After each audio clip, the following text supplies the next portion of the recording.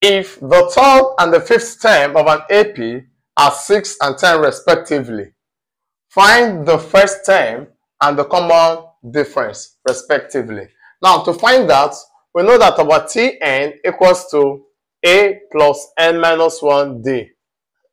Now for T3, we are going to have A plus 2d equals to 6 and T5 equals to A plus 4d equals to 10. Now solving this out simultaneously, we have A plus 2d equals to 6 and A plus 4d equals to 10.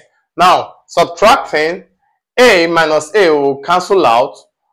4 minus 2 will give us 2d and 10 minus 6 will give us 4. So our d equals to 4 over 2 which will be 2. Now substituting the value of d into one of our equations we have a plus 4d equals to 10. So this becomes a plus 4 bracket 2 equals to 10.